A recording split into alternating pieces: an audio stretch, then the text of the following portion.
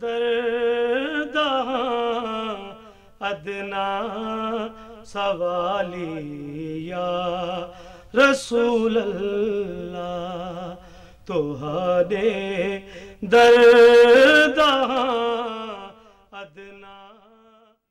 السلام علیکم ناظرین، پروگرام وساخ اور تورا میزبان شاکر حسین شاکر، پاکستان ٹیلی ویژن ملتان دے اسٹوڈیو تو حاضر۔ ربی الاول دا مہینہ ہے اور میں سمجھدا کہ اج دا سارا پروگرام، سارے سال دے سارے پروگراموں تو زیادہ اہم اور وڈا پروگرام۔ دنیا دی سب تو وڈی شخصیت دا ذکر اج دے پروگرام میں ہو سی، جن دے بارے اللہ تعالیٰ نے خود فرمایا، وما ارسلنا کا اللہ رحمت للعالمین کہ میں تا کو سارے جہانا کی تے رحمت بنا کے بھیجیا۔ جڑی شخصیت رحمت بن کے آئی، اون شخصیت دی تعلیمات، اون شخصیت دے اقوال ਉਹ ਸ਼ਖਸੀਅਤ ਦਾ ਉਠਣ ਬਾਵਣ ਸਾਰੇ ਮਾਸ਼ਰੇ ਦੇ ਉੱਤੇ ਕਿਆ ਅਸਰਾਤ ਮੁਰਤਬ ਕਰਿੰਦੇ ਯਕੀਨੀ ਤੌਰ ਤੇ ਮੈਂ ਸਮਝਦਾ ਕਿ ਸਾਰੇ ਮਾਸ਼ਰੇ ਦਾ ਜਿਹੜੀ ਬੁਨਿਆਦ ਹੈ ਉਹ ਤਾਲੀਮਾਤ ਨਬਵੀ ਸੱਲੱਲਾਹੁ ਅਲੈਹਿ ਵਾਲੀ ਵਸੱਲਮ ਦੇ ਉੱਤੇ ਰੱਖੀ ਗਈ ਹੈ ਔਰ ਕਿਆ ਅਸਾਂ ਉਹਦੇ ਉੱਤੇ ਅਮਲ ਕਰਕੇ ਆਪਣੀ ਜ਼ਿੰਦਗੀਆਂ ਨੂੰ ਕਿਵੇਂ ਬਿਹਤਰ ਕਰ ਸਕਦੇ ਹਾਂ ਇਹ ਹੈ ਸਾਡੇ ਅੱਜ ਦੇ ਪ੍ਰੋਗਰਾਮ ਦਾ ਮੌਜੂ ਕਿ ਸੀਰਤ ਨਬੀ ਸੱਲੱਲਾਹੁ ਅਲੈਹਿ ਵਾਲੀ ਵਸੱਲਮ ਔਰ ਆਦਾਬ ਮਾਸ਼ਰਤ این موضوع تے گفتگو کرنے کے دیسانے موجود ہیں ملک ممتاز ماہر تعلیم اور سکولر جناب خالد محمود شاہین صاحب۔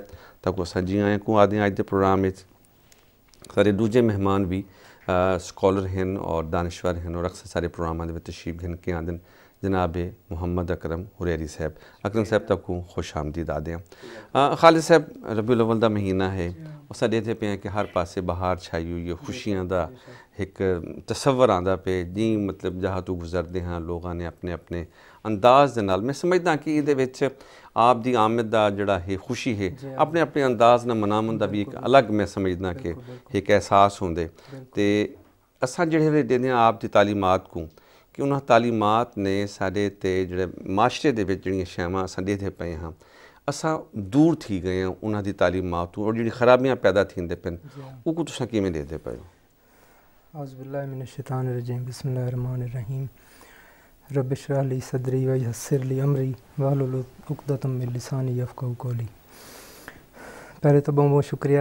تساں ساکوں اعزاز بخشے کہ سونے نبی کریم صلی اللہ علیہ وسلم جائیں ہستی دے بارے اساں کچھ عرض کر سکوں۔ بے شک میں سمجھدا کہ آپ دا ذکر جی، جڑی زبان تے آوے اعزاز والی گال ہوندی ہے۔ جی، کیتے اعزاز ہے جڑا دیتا پہ اون دے کیتے اعزاز جڑا سندا پہ بے شک اون دے کیتے اعزاز جڑا لکھ دے جڑا پڑھ دے۔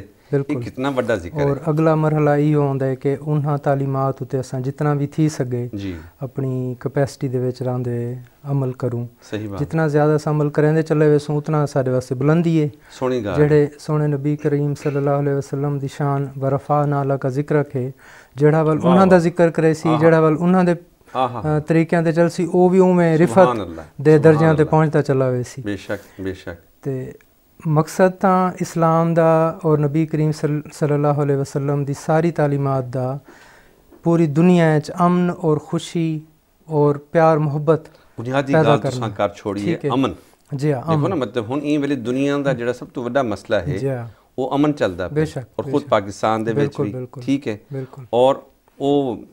ਪੈਗਾਮ ਵੀ ਉਹ ਘਿਨ ਕੇ ਆਏ। ਪੈਗਾਮ ਵੀ ਨਾ ਉਹਦੇ ਵਿੱਚ ਕੋਈ ਛੋਟਾ ਹੈ ਨਾ ਵੱਡਾ ਹੈ ਨਾ ਗੋਰਾ ਹੈ ਨਾ ਕਾਲਾ ਹੈ ਨਾ ਅਮੀਰ ਹੈ ਨਾ ਗਰੀਬ ਹੈ।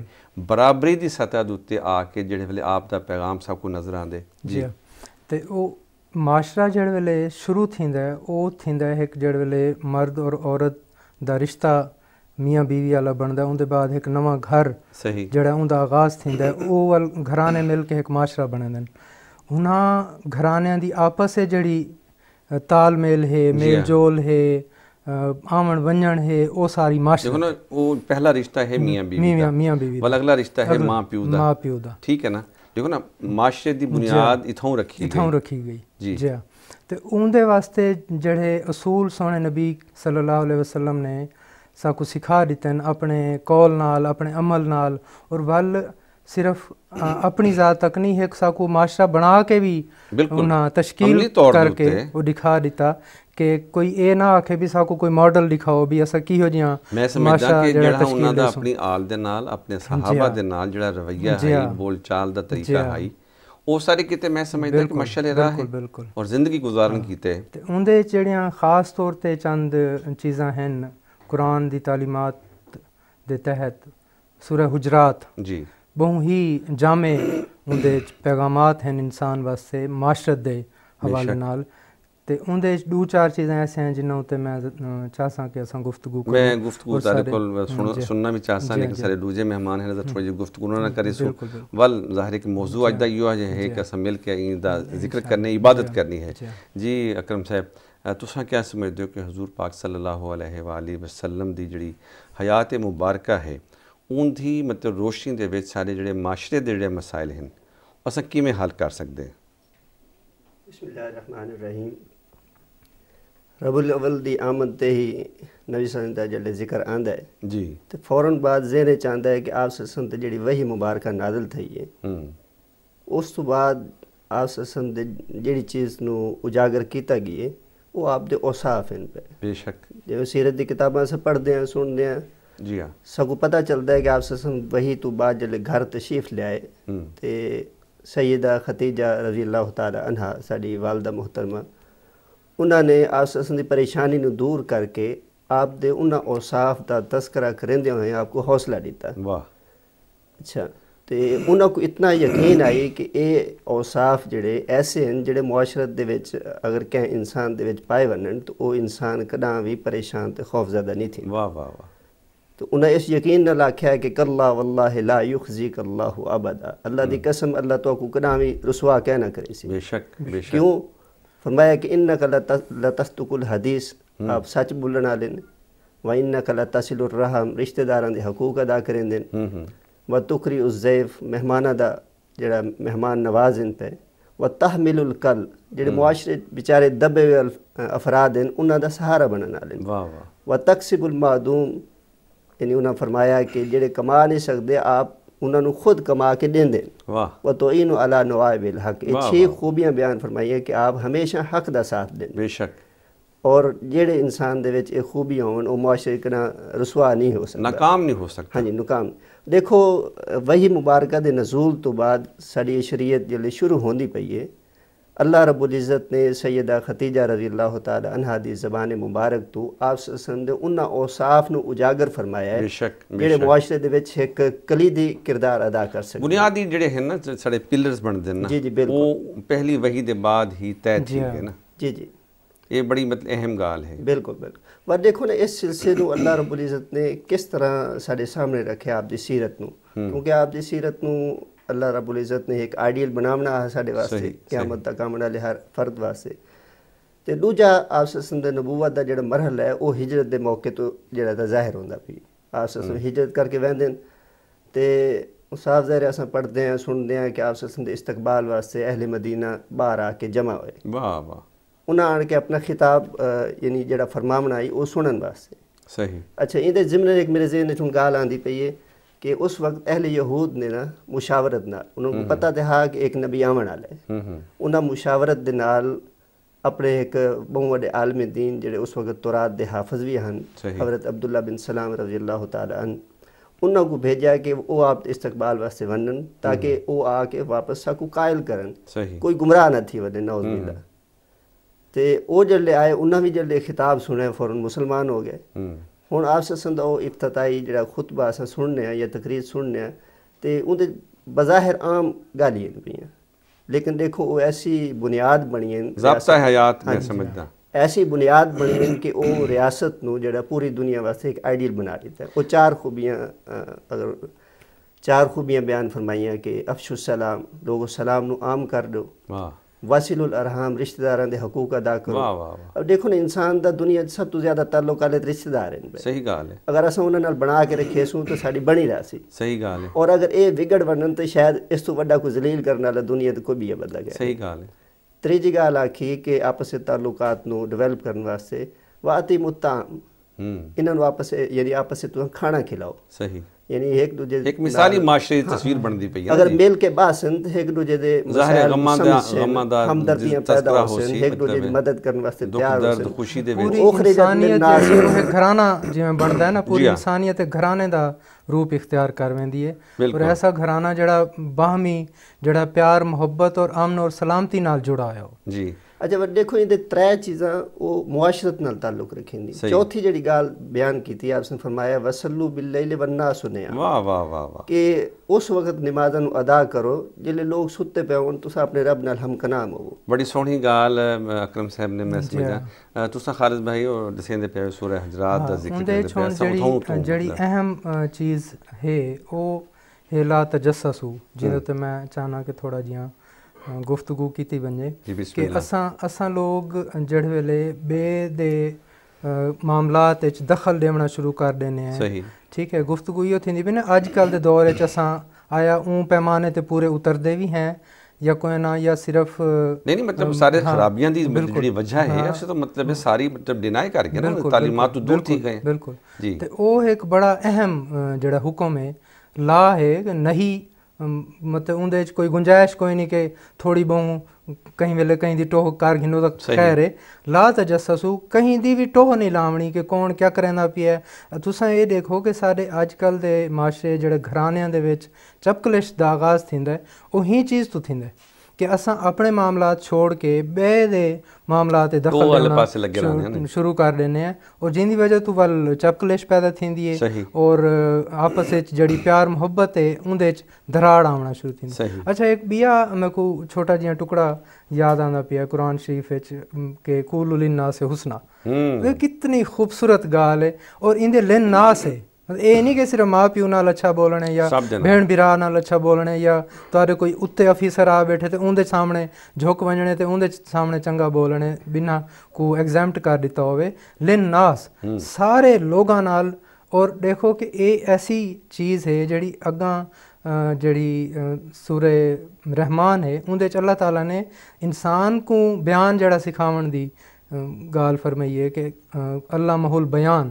ਉਹਦਾ ਜਿਹੜਾ ਉਹਦੀ ਇੰਪਲੀਮੈਂਟੇਸ਼ਨ ਹੈ ਉਹ ਇਹ ਆਇਤ ਥੀਂਦੀ ਪਈ ਕਿ ਕੂਲੂ ਲਿਨਾਸ ਉਸਨਾ ਕਿ ਜਿਹੜੇ ਰੱਬ ਨੇ ਤੁਹਾਨੂੰ ਬਿਆਨ ਸਿਖਾਏ ਉਹ ਬਿਆਨ ਦਾ ਇਸਤੇਮਾਲ ਕਿਵੇਂ ਕਰੋ? ਲੋਕਾਂ ਨਾਲ ਸੋਹਣਾ ਬੋਲ ਕੇ ਬਿਆਨ। ਵਾਹ ਵਾਹ। ਅੱਛਾ ਇਹ ਹੁਣ ਅਕਰਮ ਸਾਹਿਬ ਨੇ ਬੜੀ ਅੱਛੀ ਗੱਲ ਕੀਤੀ। ਚਾਰ ਜਿਹੜੇ ਮਤਲਬ ਹੈ ਕਿ ਸਲਾਮ ਅਜ਼ੀਜ਼ੋ ਅਕਾਰਬ ਹਾਂ। ਔਰ ਉਹਦੇ ਬਾਅਦ ਚੌਥਾ ਇਹਨਾਂ ਨੇ ਆਖਿਆ ਕਿ ਇਬਾਦਤ। ਇਬਾਦਤ। ਨਮਾਜ਼। ਅੱਛਾ ਇਹ ਅਸਾਂ ਦੇਖਦੇ ਪਏ ਹਾਂ ਕਿ ਸਾਰੇ ਮਾਸ਼ਰੇ ਦੇ ਵਿੱਚੋਂ ਇਹ ਸਾਰੀ ਸ਼ੈਵਾਂ ਆਹਿਸਤਾ ਆਹਿਸਤਾ ਅ, ਖਤਮ ਥੀਂਦੀਆਂ ਪਈਆਂ ਅਸਾਂ ਦੂਰ ਥੀਂਦੇ ਪਏ ਹਾਂ ਮਸਲਨ ਇੱਕ ਮਹਿਫਿਲ ਹੈ, ਅਸਾਂ ਸਲਾਮ ਨਹੀਂ ਜੀ ਗਿੰਦੇ ਹਾਂ, ਸਾਰੇ ਜੀ ਹਾਂ। ਆਪਣੇ ਰਿਸ਼ਤੇਦਾਰਾਂ ਦੇ ਨਾਲ ਜਿਹੜੇ ਚੱਲਦੇ ਜੀ ਪਏ ਹਾਂ। ਹਨ। ਅਸਾਂ ਮਤਲਬ ਹੈ ਕਿ ਇਹਨਾਂ ਨਾਲ ਬਹਿ ਕੇ ਖਾ ਨਹੀਂ ਸਕਦੇ ਕਿ ਯਾਰ ਇਹ ਜੀ ਹਾਂ। ਛੋਟਾ ਹੈ ਇਹਨਾਂ ਮੈਂ ਕੀ ਖਾ ਜੀ ਸਕਦਾ ਹਾਂ। ਔਰ ਜਿਹੜੀ ਇਬਾਦਤ ਉਹ ਦੇਖੋ ਸਹੀ ਅ, ਨਬੀ ਕਰੀਮ ਸੱਲੱਲਾਹੁ ਅਲੈਹਿ ਵਸੱਲਮ ਦੀ ਸਭ ਤੋਂ ਅੱਛੀ ਅ, ਜਿਹੜੀ ਬਹੁਤ ਸਾਰੇ ਸਾਰੇ ਉਹਨਾਂ ਦੇ ਸੋਹਣੇ ਹਨ ਉਹ ਸਾਫ਼ ਇੱਕ ਸਿਫਤ ਇਹ ਹੈ ਕਿ ਆਪ ਜਿਹੜਾ ਜ਼ਾਹਿਰ و ਬਾਤਨ ਸਾਰਿਆਂ ਦੇ ਸਾਹਮਣੇ ਸ਼ੀਸ਼ੇ ਵਾਲੀ ਤਰ੍ਹਾਂ ਹੈ ਸਹੀ ਹੀ ਹਿਜਰਤ ਦਾ ਜਿਵੇਂ ਫਰਮਾਉਂਦੇ ਪੈਣ ਉਥਾਂ ਇੱਕ خاتون نے ڈٹھا لوگاں دی زبانی انہیں گالی سنیا آن جی قرآن اچھی موجود ہے وہ طرح طرح دے پروپیگنڈا تو کریں ہیں مخالفین۔ جی۔ تے انہیں جڑے لے آپ صلی اللہ علیہ وسلم دا چہرہ انور ڈٹھا انہیں آکھے کہ اے بندہ جھوٹا نہیں تھی سکتا واہ واہ۔ ٹھیک ہے۔ اے جڑی چیز ہے نا کہ دکھاوا اور اللہ کو خوش کرن دی بجائے لوگوں کو خوش کرن دی خاطر اساں رسمن چیزاں کروں۔ اور تساں جی ہن فرمیندے بھی کھانا اساں نہیں کھویندے یا سلام نہیں کریندے اے چیزاں بھی جڑا کرنے ہیں نا او لوگوں کو دکھاون واسطے کرنے ہاں مطلب وہ بھی مطلب ہاں، ہے کہ مطلب کہ جتنا سا کو اے نظر آندے بھی فلانے کو اساں کھوے سو تے کوئی نہ کچھ ہے سا کو مل سی۔ مطلب کہ تما اور لالچ جڑی ہے وہ سارے اندر آندی ویندی پئی ہے۔ نبی کریم صلی اللہ علیہ وسلم دی تعلیمات تو ہٹن دی وجہ تو اور انہاں کو پورے شعور نال اپنے اوتے لاگو نہ کرن دی وجہ اچھا اکرم صاحب بڑی اہم گال کیتی ہے۔ کہ تعلیمات نبوی تو ہٹ دے پایا ہاں۔ جی، اور جی۔ شعوری طور تے اساں اپنے تے لاگو نہیں کریں دے پے ہاں جی۔ اچھا ان دی ذمہ داری جڑی ہون جڑا اصل گال ہے۔ ان دی ذمہ داری کیندے ہوتے آندی ہے؟ نمبر ایک تے گھر۔ مطلب جتھوں مطلب ہے بال جو مطلب آغاز کیندے۔ ان دے بعد ول مکتب ول ممبر۔ جی جی۔ ٹھیک ہے نا؟ تساں کیا سمجھ دیو کہ جڑے ویلے کولو لناس دی اساں گال کرنے ہیں تے ول اے جڑے ترائے مطلب سارے معاشرے دے بڑے اہم پلرز ہیں ਇਹਨਾਂ ਦੇ ਵਿੱਚ ਕਿਹੜੇ ਐਸੇ ਨੇ ਜਿਹੜੇ ਜਿਨ੍ਹਾਂ ਨੇ ਆਪਣੀ ਗਫਲਤ ਦਾ ਇਜ਼ਹਾਰ ਕੀਤੇ ਔਰ ਉਹ ਗੱਲ ਨਹੀਂ ਕੀਤੀ ਦੇਖੋ ਜੀ ਇਬਤਦਾ ਤੇ ਗਫਲਤ ਥਿੰਦੀ ਪਈ ਵਾਲਿਦੈਨ ਦੀ ਤਰਫੋਂ حدیث مبارکہ ہے کہ کلکم رائن و کلکم مسئول ان رعیت ہی پتہ اگا حدیث ہے اسا اے ٹکڑا تے اسا سارے جاننے ہاں، ہیں سن دے ہیں پڑھ دے ہیں کہ حدیث اتنی۔ لیکن یہ حدیث تے اگا تفصیل دسائی گئی ہے کہ مرد جڑا وہ اپنے گھر دے اوتے ذمہ دار ہے صحیح۔ مرد دی عدم موجودگی عورت ذمہ دار ہے ਹੁਕਮਰਾਨ ਜਿਹੜਾ ਉਹ ਆਪਣੀ ਰਿਆਇਆ ਤੇ ਜ਼ਿੰਮੇਦਾਰ ਹੈ।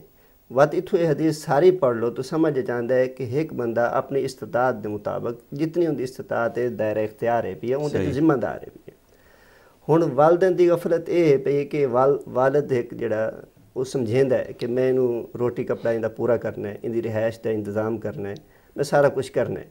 ਲੇਕਿਨ ਉਹ ਇਸ ਪਾਸੋਂ ਤੋਂ ਸੋਚਣ ਵਾਸਤੇ ਤਿਆਰ ਨਹੀਂ ਹੁੰਦਾ ਕਿ ਅੱਲਾਹ ਰਬੁਲ ਇਜ਼ਤ ਨੇ ਜਿਸ ਵਾਸਤੇ ਸਭ ਨੂੰ ਪੈਦਾ ਕੀਤਾ ਹੈ ਤੇ ਉਹ ਦੁਨੀਆ ਕਿਸ ਮਕਸਦ ਵਾਸਤੇ ਬਣਾਈ ਹੈ ਤੇ ਬਾਅਦ ਇਹ ਇਖਤਤਾਮ ਹੋਣਾ ਹੈ ਤੇ ਆਖਰਤ ਦਾ ਕੀ ਕਾਇਮ ਹੋਣਾ ਹੈ। ਸਹੀ।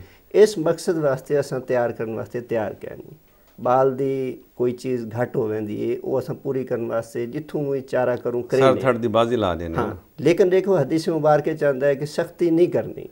ਲੇਕਿਨ ਇਹ ਕਿ ਔਲਾਦ ਤੇ ਅਗਰ ਉਹ ਨਮਾਜ਼ ਨਹੀਂ ਪੜਦੀ ਤੇ ਅੱਲਾਹ ਦੇ ਨਬੀ ਨੇ ਫਰਮਾਇਆ ਕਿ ਵਾਲਿਦ ਆਪਣੇ ਔਲਾਦ ਤੇ ਸਖਤੀ ਕਰੇ। ਸਹੀ। ਤਰੇ ਸਾਲ ਤੱਕ ਸਮਝਾਉਂਦਾ ਰਵੇ ਨਹੀਂ ਸਮਝਾਉਂਦਾ ਤਾਂ ਉਹਦੇ ਸਖਤੀ ਕਰੇ। ਹੁਣ ਦੇਖੋ ਅਸਾਂ ਇਹ ਜ਼ਿੰਮੇਵਾਰੀ ਪੂਰਨ ਕਰਨ ਵਾਸਤੇ ਅਗਰ ਵਾਲਿਦ ਖੁਦ ਨਮਾਜ਼ ਨਾ ਪੜਦਾ ਹੋਵੇ ਤਾਂ ਵਲ ਸਖਤੀ ਕਿਵੇਂ ਕਰੇ ਸੀ? ਉਹ ਤੇ ਹੈ ਨਾ ਕਮੀ ਕੁਤਾਹੀ ਤੇ ਇਹ ਹੈ ਨਾ ਕਿ ਸਭ ਤੋਂ ਪਹਿਲੂ ਘਰ ਤੋਂ ਸਹੀ।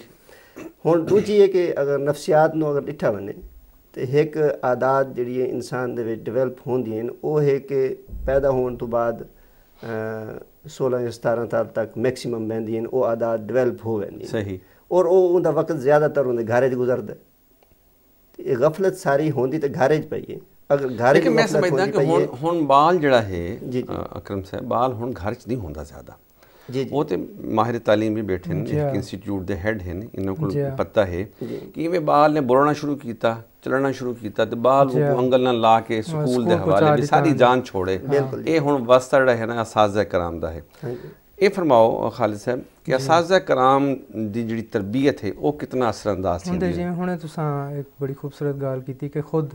ਜਿਹੜੇ ਨਮਾਜ਼ ਨਾ ਪੜਸੀ ਉਹ ਬਾਲਾਂ ਕੋ ਕਿਵੇਂ ਸਮਝੇ ਸੀ?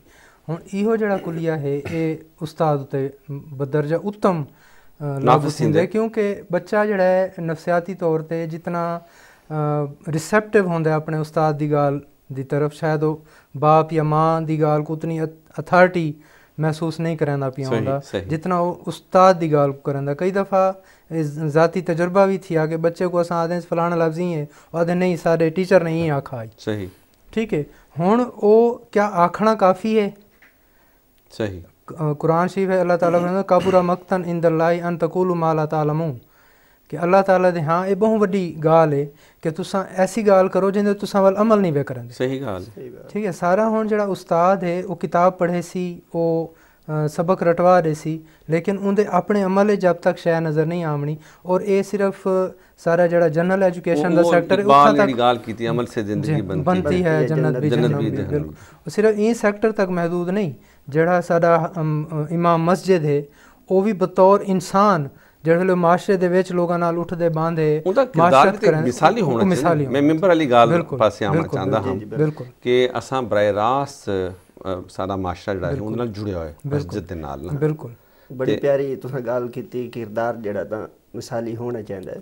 ਉਹ ਮੈਂ ਪਹਿਲੇ ਆਣਾ ਸ਼ੁਰੂ ਚ ਕਿ ਅੱਲਾਹ ਰਬੁਲ ਇਜ਼ਤ ਨੇ ਜਿਹੜੇ ਨਬੀ ਸਾਨੂੰ ਆਖਿਆ ਕਿ ਆਪਣੇ ਰਿਸ਼ਤੇਦਾਰਾਂ ਤੱਕ ਦੂਜਿਆਂ ਤੱਕ ਅੱਲਾਹ ਦਾ ਹੁਕਮ ਪਹੁੰਚਾਓ। ਸਹੀ। ਤੇ ਆਪ ਸਸਮ ਜਿਹੜੇ ਸਫਾ ਮਰਵਾ ਤੇ ਇਕੱਠਾ ਕੀਤਾ ਸਾਰਿਆਂ ਨੂੰ। ਤੇ ਉੱਥੇ ਆਂਦੇ ਸਾਰ ਉਹਨਾਂ ਨੂੰ ਇਹ ਪੈਗਾਮ ਨਹੀਂ ਦਿੱਤਾ ਕਿ ਤੁਸੀਂ ਕਲਮਾ ਪੜ੍ਹ ਲਓ ਬਲਕਿ ਇੱਕ ਨਫਸੀਆਤੀ ਤੌਰ ਤੇ ਵਾਰ ਕੀਤਾ। ਫਰਮਾਇਆ ਕਿ ਅਗਰ ਮੈਂ ਤੋਂ ਕੋ ਆਖਾਂ ਕਿ ਪਹਾੜ ਦੀ ਓੜ ਤੇ ਕੋ ਲਸ਼ਕਰ ਆਂਦਾ ਪੀਏ ਕਿਆ ਤੁਸੀਂ ਮੇਰੀ ਗੱਲ ਤੇ ਯਕੀਨ ਕਰ ਲੈ ਸੋ ਹਾਂ ਤਾਂ ਉਹਨਾਂ ਨੇ ਆਖਿਆ ਬਿਲਕੁਲ ਇਸ ਵਾਸਤੇ ਕਿ ਮਾ ਜਰਬਨਾ ਇਲਾ ਸਿਦਕਾ ਕਿ ਅਸਾਂ ਤੁਹਾਨੂੰ ਅਜ਼ਮਾਇਆ। ਤੇ ਸਿਰਫ ਸੱਚ ਹੀ ਬੋਲਣ ਦੇ ਬਿਲਕੁਲ। ਅਜ਼ਮਾਇਆ ਸੱਚੇ ਹੋ ਬੇਸ਼ੱਕ ਹੁਣ ਉਸ ਤੋਂ ਬਾਅਦ ਫਰਮਾਇਆ ਕਿ ਕੂਲੂ ਲਾ ਇਲਾਹਾ ਇੱਲਾ ਤੁਫਲਿਹੂ ਵ ਤਮਲਿਕੂ ਵਾਹ, ਬਿਲ। ਅਰਬ ਵਲ ਅਜਮ دیکھو کردار سامنے رکھے سوں تو سارا پیغام جڑا اثر کرے سی۔ لیکن اگر سارے کردار جھول ہے ٹھیک ہے کہ انسانی ناتے نال کوئی کمیاں کوتاہیاں ہو سکتی ہیں لیکن ایک مستقل ان دی عادت جڑی ہے وہ ساری تبلیغ نو ساری نشر و اشاعت نو وہ غیر مؤثر کریں دی اور سونے نبی کریم صلی اللہ علیہ وسلم دی سچائی تے ایسے درجہ کمال تے پہنچی ہوئی ہے۔ ਕਿ ਬਾਅਦ ਵਿੱਚ ਰਿਵਾਇਤਾਂ ਚ ਆਉਂਦਾ ਹੈ ਕਿ ਅਬੂ ਜਹਲ ਕੋਲ ਪੁੱਛਿਆ ਗਿਆ ਕਿ ਅਗਰ ਤੂੰ ਉਹ ਟਾਈਮ ਪਹਾੜ ਤੇ ਚੜ ਕੇ ਡੇਗ ਹੂੰ ਹੂੰ ਤੇ ਉਹ ਪਾਸੇ ਲਸ਼ਕਰ ਨਾ ਹੋਵੇ ਤਾਂ ਵੱਲ ਤੂੰ ਕੀ ਕਰਿਆ ਤੇ ਉਹ ਆਖਣ ਲੱਗਾ ਕਿ ਮੈਂ ਆਪਣੇ ਅੱਖੀਂ ਤੇ ਸ਼ੱਕ ਕਰ ਗਿਨਾ ਮੈਂ ਇਹ ਚੀਜ਼ ਤੇ ਸ਼ੱਕ ਕਰ ਗਿਨਾ ਕਿ ਸ਼ਾਇਦ ਮੇਰੀ ਨਿਗਾਹ ਵਿੱਚ ਕੋਈ ਕਮੀ ਹੈ ਸੋਹਣੇ। ਨਬੀ ਕਰੀਮ ਸੱਲੱਲਾਹੁ ਅਲੈਹਿ ਵਸੱਲਮ ਜਿਹੜੇ। ਉਹਨਾਂ ਦੀ ਸਚਾਈ ਵਿੱਚ ਕੋਈ ਸ਼ੱਕ। ਨਹੀਂ ਔਰ ਇਹ ਉਹ ਸਚਾਈ ਉਹ ਵੇਲੇ ਸ਼ੱਕ ਤੋਂ ਬਾਲਾਤਰ ਥੀਂਦੀ ਹੈ ਜਿਹੜੇ ਵੇਲੇ ਉਹ ਸਾਡੇ ਕਿਰਦਾਰ ਦਾ ਹਿੱਸਾ ਬਣ। ਅੱਛਾ ਅਕਰਮ ਸਾਹਿਬ ਕਿਰਦਾਰ ਦੀ ਗੱਲ ਥੀਂਦੀ। ਪਈ ਸਾਰੇ ਮਾਸ਼ਰੇ ਦੇ ਵਿੱਚ ਜਿਹੜਾ ਹੁਣ ਇਹ ਵਾਲੇ ਸਭ ਤੋਂ ਵੱਡਾ ਮਸਲਾ ਆ ਗਿਆ ਉਹ ਹੈ ਮੁਨਾਫਕਤ। ਮੁਨਾਫਿਕ। ਬਹੁਤ ਸਾਰੇ ਮਸਾਇਲ। ਜਿਹੜੇ ਹਨ ਅਕਸਰੀਅਤ ਜਿਹੜੀ ਹੈ ਮੈਂ ਸਮਝਦਾ ਕਿ 99 ਜਿਹੜੇ ਮਸਾਇਲ ਹਨ ਉਹ ਮੁਨਾਫਕਤ ਦੀ ਵਜ੍ਹਾ ਤੋਂ ਥੀਂਦੇ ਪਏ ਅਸਾਂ ਇਥੋਂ ਮਤਲਬ ਕਿਵੇਂ ਛੁਟਕਾਰਾ ਪਾ ਸਕਦੇ ਹਾਂ? ਹਾਂਜੀ ਇਹ ਦੋਹਰਾ ਕਿਰਦਾਰ ਇਹਦਾ ਸਵਾਏ ਆਪਸਨ ਦੀ ਇਤਬਾ ਦੇ ਹੋਰ ਕੋਈ ਹੱਲ ਹੈ ਬਿਲਕੁਲ। ਵਾਹ। ਅਗਰ ਅਸਾਂ ਆਪਣੇ ਦਿਲਾਂ 'ਚ ਅੱਲਾ ਦੀ ਅਜ਼ਮਤ ਪੈਦਾ ਕਰ ਲਓ ਹੂੰ। ਤਾਂ ਉਸ ਤੋਂ ਬਾਅਦ ਜਿਹੜਾ ਤਾਂ ਨਬੀ ਸੱਸਮ ਦੀ ਪੈਰਵੀ ਕਰੂੰ ਤੇ ਉਸ ਤਰੀਕੇ ਦਾ ਹੱਲ ਹੋ ਸਕਦਾ ਹੁਣ ਦੇਖੋ ਇੱਕ ਇਹ ਨਹੀਂ ਮੁਨਾਫਕਤ। ਅਸਾਂ ਹੁਣ ਸੋਸ਼ਲ ਮੀਡੀਆ ਦੌਰ ਹੈ ਬਈ ਢੇਰ ਸਾਰੀ ਚੀਜ਼ਾਂ ਅਸਾਂ ਉਹਨਾਂ ਦੀ ਪਾਬੰਦੀ ਨਹੀਂ ਲਾ ਸਕਦੇ। ਕਈ ਐਸੀ ਚੀਜ਼ਾਂ ਪਈਆਂ ਲੇਕਿਨ ਕੁਰਾਨ ਕਰੀਮ ਦੀ ਉਹ ਇਬਤਦਾ ਅਗਰ ਦੇਖੋ ਕਿ ਹੁਦਲ ਲਿਲ ਮੁਤਕੀਨ ਵਾਹ। ਕਿ ਕੁਰਾਨ ਹੈ ਤੇ ਅੱਲਾ ਦੇ ਡਰਨ ਵਾਲਿਆਂ ਵਾਸਤੇ ਰਹਿਨਮਾਈ ਹੈ। ਬੇਸ਼ੱਕ। ਇਹਦਾ ਮਤਲਬ ਹੈ ਕਿ ਜਿਹੜਾ ਅੱਲਾ ਕੋਲ ਨਹੀਂ ਡਰਦਾ ਉਹਦੇ ਵਾਸਤੇ ਇਹ ਰਹਿਨਮਾਈ ਨਹੀਂ ਬਣ ਸਕਦੀ। تے جب تک اس اپنے دلوں دے وچ اللہ دی عظمت پیدا نہ کرے سوں اللہ دا ڈر تے خوف نہ پیدا کرے سوں اس وقت تک اے سارے دوہرا پن منافقت ڈاج دیونا دھوکہ دیونا اے میرے خیال ہے ختم نہیں ہو سکتا دوجا یہ طریقہ ہے کہ تربیت۔ تربیت اس لیے اثر انداز ہو سی جلے سارے دل وچ اللہ دا ڈر ہو سی خوف ہو سی۔ بے شک۔ تے ایو میرے ذہن وچ جڑی دل المتقین علی گفتگو ہے این اگاں ایک جات ہے بیا روخ اللہ سائیں دکھایا قرآن دی صفت بیان کریں دے۔ کہ یہدی بھی کثیرم و یزلو بھی کثیرہ و ما یزلو بھی الا الفاسقین کہ جڑ ویلے فیس کالے پاسے انسان ٹور پوسی ولو کو اللہ دی کتاب تو بھی ہدایت نہیں ملنی اور فیس کے سب تو پہلی چیز ہی ہو منافقت اور دکھاوا ہے۔ ان دے پچھوں کیڑی شے ہے؟ او ہے کہ اساں جڑے اے سوچنے نا کہ اساں اللہ دی بجائے فلانے لوکیں کو یا فلانے بندیاں کو جواب دے ہیں۔ ਲੋਕਾਂ ਕੋ ਜਾਂ ਫਲਾਣੇ ਬੰਦਿਆਂ ਕੋ ਜਵਾਬ ਦੇ ਹਾਂ ਸਹੀ ਸਹੀ ਉਹ ਵੇਲੇ ਵੱਲ ਅਸਾਂ ਉਹਨਾਂ ਕੋ ਰਾਜ਼ੀ ਕਰਨ ਦੀ ਰਾਹ ਤੇ ਟੁਰ ਪਾਉਂਦੇ ਆ ਸਾਡੇ ਵਾਸਤੇ ਅੱਲਾ ਤਾਲਾ ਕੋ ਰਾਜ਼ੀ ਕਰਨਾ ਪ੍ਰਾਇੋਰਟੀ ਨਹੀਂ ਰਹਿੰਦੀ ਸਹੀ ਸਾਡੇ ਵਾਸਤੇ ਇੱਕ ਚੁਆਇਸ ਬਣ ਵੰਦੇ ਕਿ ਜਿਹੜੇ ਵੇਲੇ ਅਜ਼ਾਨ ਆਸੀ ਨਮਾਜ਼ ਦਾ ਟਾਈਮ ਥੀ ਸੀ ਉਹ ਵੇਲੇ ਅੱਲਾ ਕੋ ਸਹੀ ਕੁਛ ਰਾਜ਼ੀ ਕਰੇ ਸੂ ਵੱਲ ਜਿਹੜੇ ਵੇਲੇ ਨਮਾਜ਼ ਪੜ੍ਹ ਕੇ ਬਹਿ ਰਾਸੂ ਵੱਲ ਬੰਦਿਆਂ ਕੋ ਰਾਜ਼ੀ ਕਰਨ ਟੁਰ ਪੋਸੂ ਠੀਕ ਹੈ ਇਥੋਂ ਮੁਨਾਫਕਤ ਦੀ ਅ, ਇਬਤਦਾ ਥੀ वेंदी ਹੈ ਔਰ ਅ, ਹੀ ਵਾਸਤੇ ਉਦਖਲੂ ਫੀ ਸਿਲਮ ਕਾਫਾ دا مطالبہ کیتا گیا کہ اسلام وچ ول پورے پورے داخل تھی ونجو وچ کوئی کسر تہاڈے اچھا اسلام دے مطلب جڑی اول داخل دی جڑی گال ہے ہن اساں فرقیاں دے وچ بٹ گئے ہاں۔ جی ہاں۔ او حد کون متعین کرے سی کہ اے جڑی شے ہے اے ٹھیک ہے۔ اصل خرابی بھی تے یو اکرم صاحب تساں کیا خطبہ حجۃ الوداع ہے نا اس موقع تے آپ نے فرمایا کہ ما تمسکتم بہما کتاب اللہ و سنت رسولہ۔ ਕਿ ਤੁਸੀਂ ਉਸ ਵਕਤ ਤੱਕ ਗੁੰਮਰਾਹ ਕਹਿਣਾ ਸੀ ਕਿਉਂਕਿ ਮਤਲਬ ਮਾਸ਼ਰੇ ਦੇ ਵਿੱਚ ਤੇ ਫਿਰਕਾ ਵਾਰੀਅਤ ਕੋਈ ਨਹੀਂ। ਲੇਕਿਨ ਚੁਕੇ ਸਾਡੇ ਸਾਰੇ ਮੈਂਬਰ ਦੇ ਉੱਤੇ ਅਸਾਜ਼ਾ ਸਾਡੇ ਘਰਾਂ ਦੇ ਵਿੱਚ ਇਹ ਸ਼ਾਇਦ ਬੜੇ ਤਵਾਤਰ ਦੇ ਨਾਲ। ਗੱਲ ਕਰੇ ਦਾ ਪਈ ਇਹਦਾ ਕੁਲੀਆ ਜਿਹੜਾ ਹੈ ਉਹ ਇਹ ਵੀ ਆ ਕਿ ਆਪਸ ਫਰਮਾਇਆ ਕਿ ਕੁਰਾਨ ਔਰ ਸੁਨਨਤ ਮਜ਼ਬੂਤੀ ਨਾਲ ਥਾਮ ਲਓ ਤੇ ਤੁਸੀਂ ਕਦਾਂ ਗੁੰਮਰਾਹ ਨਾ ਹੋਸੋ ਬਾਤ ਇੱਕ ਬਈ ਜਿਹੜੀ ਹਦੀਸ ਮੁਬਾਰਕ ਹੈ ਆਪਸ ਨੇ ਫਰਮਾਇਆ ਕਿ ਮੁਸਲਮਾਨ ਬਹੁਤ ਜ਼ਿਆਦਾ ਹੋਵੇ ਸਨ ਲੇਕਿਨ ਉਹ ਸਭ ਚਾਰੇ ਦੀ ਮਾਨੰਦ ਹੋਸਨ हो सन आपने फरमाया कि अ, साहबा ने पूछा क्या मुसलमान तादाद घट हो सी फरमाया तादाद क्या ना घट हो सी ਅੱਛਾ ਲੇਕਿਨ ਉਹ ਆਪਣੇ ਆਪ ਨੂੰ ਇਤਨਾ ਤਕਸੀਮ ਕਰ ਚੁੱਕੇ ਹੋ ਸਨ ਕਿ ਗੈਰ ਜਿਹੜਾ ਉਹਦੇ ਤੇ ਬਹੁਤ ਜਲਦੀ ਭਾਰੀ ਹੋ ਗਈ ਭਾਰੀ ਸੀ ਹੋ ਗਈ ਸੀ। ਪਰ ਸਾਹਬਾ ਕਰਮ ਨੇ ਪੁੱਛਿਆ ਕਿ ਅੱਲਾ ਦੇ ਨਬੀ ਉਸ ਲਈ ਹੱਕ ਤੇ ਕੌਣ ਹੋ ਸੀ ਹੂੰ ਫਰਮਾਇਆ ਇਹ ਕਿ ਬੁਨਿਆਦ- ਮਾ ਅਨ ਅਲੈਹਿ व ਅਸਹਾਬੀ ਜਿਹੜੀ ਗੱਲ ਤੇ ਮੈਂ ਹਾਂ ਤੇ ਮੇਰੇ ਸਾਹਬਾ ਕਰਾਮ ਹਨ ਉਹ ਉਸ ਗੱਲ ਤੇ ਅਗਰ ਲੋਕ ਹੋ ਸਨ ਤੇ ਉਹ ਹੱਕ ਤੇ ਹੋ ਸਨ ਸਹੀ ਵਾ ਦੂਜੀ ਗੱਲ ਜਿਹੜੀ ਸੂਰੇ ਬਕਰੇ ਚ ਅੱਲਾਹ ਰਬੁਲ ਇਜ਼ਤ ਨੇ ਫਰਮਾਈ ਹੈ کہ فَإِنْ آمَنُوا بِمِثْلِ مَا آمَنْتُمْ بِهِ فَقَدْ اهْتَدَوْا اگر تساں وی ایمان انہاں لوگاں جیسا لیاس ہو جنہاں نے اللہ دے نبی دے دور لیاندا تے تساں وی ہدایت تے صحیح اے جڑی گلیاں اساں دیکھوں تو ملوم ہوندا ہے کہ اساں نام بھاویں جتنے مرضی رکھی رکھوں جتنے مرضی فرقے بڑھتے رہوں لیکن سیدھے راہ تے آون دا طریقہ او ہے جڑا کرونے اولا چھا پیا یعنی اللہ دے نبی صلی اللہ علیہ دور چھائی بے شک تعلیمات تے او ہیں نا کوئی ਚ ਅਗਰ ਕੋਈ ਆਂਦਾ ਹੈ ਉਹ ਇਖਤਲਾਫ ਲੇਕਿਨ ਉਹਨੂੰ اس ਉਸ ਇਖਤਲਾਫ ਨੂੰ ਇਸ ਕਦਰ ਨਹੀਂ ਵਧਾ ਦੇਣਾ ਚਾਹੀਦਾ ਕਿ ਉਹਦੇ ਤੇ ਜਨਾਬ ਕੁਫਰ ਦੇ ਫਤਵੇ لگ ਲੱਗਣ ਲੱਗ یا ਜਾਂ ਦੂਜੀ ਚੀਜ਼ਾਂ ਆ تو فرقے نو ختم کرن دا طریقہ ای وہ ہے کہ بنیاداں تے انسان خالص جڑی گال وہ گال آویں دی نا کہ وا بی حبل اللہ جميعا ہاں۔ بلا تفرقو اچھا ایتھا ایک بڑی خوبصورت گال وے کہ ولا تخلفو کہنی ہم ایک ہوئی نہیں کہ اختلاف نہ کرو او اختلاف ایک نیچرل چیز ہے او نیچرل چیز ہے۔ لیکن او اختلاف کو بنیاد بنا کے تفرقہ پیدا نہ کر۔ ہاں مطلب جڑی تفرقے بازی تھی گئی جی نا۔ ہاں۔ مطلب جڑی شے انہوں نے مثالی معاشرے دی جی اکرم ہاں۔ صاحب نے آغاز دسی گئے کہ جڑے ویلے وہی نازل تھی ان دے وچ کوئی یو جی گال کوئی نہیں۔ مثالی معاشرے دے ٹھیک ہے نمبر 1 نمبر 2 ہن انہوں نے ذکر کیتے بڑا اہم میں چاہندا ہاں، ہم کو نہ جی۔ ਕਿ ਖੁਤਬਾ ਹੁਜਤੁਲ ਵਿਦਾ ਜੀ ਹਾਂ। ਮੈਂ ਸਮਝਦਾ ਕਿ ਆਪ ਦੀ ਸਾਰੀ ਤਾਲੀਮਾਤ ਆਪਣੀ ਜਾਤ ਉੱਤੇ ਜਿਹੜਾ ਆਖਰੀ ਖੁਤਬਾ ਹੈ ਉਹ ਵੀ ਤਾਂ ਮੁਕੰਮਲ ਜ਼ਾਬਤਾ ਹੈ ਆਪ ਤੇ। ਬੇਸ਼ੱਕ ਬੇਸ਼ੱਕ ਬੇਸ਼ੱਕ ਔਰ ਕੋਈ ਅਸਾਂ ਸ਼ੱਕ ਉਹਨਾਂ ਕੋਈ ਨੂੰ ਨਹੀਂ ਮਤਲਬ ਆਪਣੀ ਜ਼ਿੰਦਗੀ ਦਾ ਮਨਸ਼ੂਰ ਵੀ ਤੇ ਬਣਾ ਬੇਸ਼ੱਕ, ਸਕਦੇ ਹਾਂ ਸਾਰੇ तमाम ਦਫ਼ਤਰਾਂ ਦੇ ਵਿੱਚ ਸਾਰੇ ਘਰਾਂ ਦੇ ਵਿੱਚ ਸਾਰੇ ਤਾਲੀਮੀ ਇਦਾਰਿਆਂ ਦੇ ਵਿੱਚ ਵੀ ਤਾਂ ਉਹ ਨੁਮਾਇਆਂ ਤੌਰ ਤੇ ਹੋਣਾ ਚਾਹੀਦਾ ਬੇਸ਼ੱਕ, ਨਿਸਾਬ ਦਾ ਬੇਸ਼ੱਕ, ਹਿੱਸਾ ਹੋਣਾ ਹੋਣਾ ਚਾਹੀਦਾ ਹੈ ਚਾਹੀਦਾ, ਬਿਲਕੁਲ, ਬਿਲਕੁਲ। ਇਹਦੀ ਕੀ ਵਜ੍ਹਾ ਹੈ ਕਿ ਅਸਾਂ ਉਹ ਪਾਸੇ ਤਵੱਜੋ ਨਹੀਂ ਦਿੱਤੀ ਉਹਦੇ ਚ ਜਿਹੜੀ ਮੈਂ ਕੋ ਸਮਝ ਆਂਦੀ ਹੈ ਨਾ ਸਹੀ ਗੱਲ ਉਹ ਇਹ ਹੈ ਕਿ ਆਪਨੇ ਜਿਵੇਂ ਫਰਮਾਇਆ ਨਾ ਕਿ ਜਿਹੜੀ ਜਿਵੇਂ ਇਹ ਡੇਹੇ تے واسطے مقدس ہے یہ مقام مقدس ہے ہی طرح تے واسطے ہر انسان دا خون ان دی عزت ان دا مال او بھی مقدس ہے مثالی معاشرے دی مثال ہے ٹھیک ہے اچھا ہن تساں اے دیکھو کہ اساں جڑے انداز وچ تقدس دا سارے ذہن وچ مسجد دا تصور بندے کہیں انسان دا بھی اوویں سارے اندر تقدس دا تصور بندے یا نہیں بندا بندے اگر سارا معاشرہ مسجد اور انسان کو